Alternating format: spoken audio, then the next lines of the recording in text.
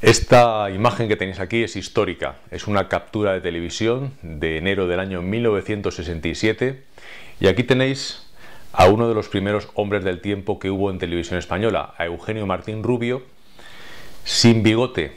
El día anterior había apostado que se lo afeitaría si no llovía. No llovió y cumplió con su promesa.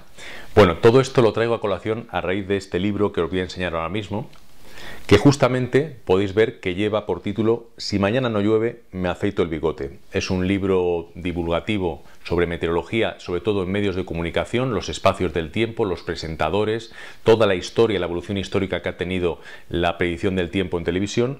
Y su autor es Javier Aguilar, actualmente uno de los presentadores del tiempo en Canal Sur, también doctor en comunicación. Y la editorial que saca el libro es Alfar, un libro que está totalmente ilustrado a color y que desde este pequeño vídeo os invito a que os hagáis con él y lo leáis.